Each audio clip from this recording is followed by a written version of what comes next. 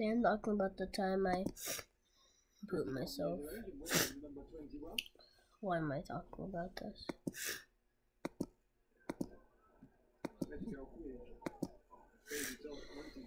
So yeah.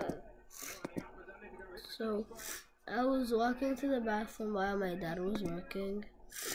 And then I looked at my pants and then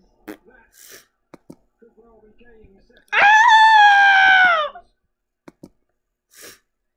And then I sobbed and told my dad that I put myself. I actually wasn't that mad.